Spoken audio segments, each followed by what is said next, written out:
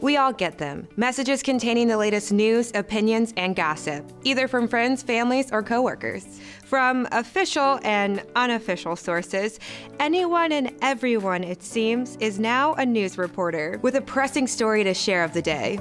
And depending on that information, the urge to pass it on can be hard to resist. But should you? In this series, we're going to talk about why, when it comes to information sharing, we should all stop, reflect, and verify.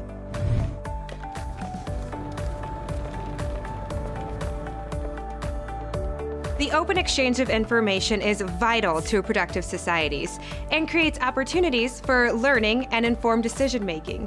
But a healthy amount of skepticism and the ability to evaluate what you're reading and hearing is just as important. We call this media literacy. Media literacy is thinking critically about the information you consume and share. Being media literate requires you to not only question who the news is coming from, but why and how that news is being communicated to you. Even the timing of the messages and who they're directed to must be considered. Was the story of the latest polling before the election true? Was it meant to elicit an emotional response?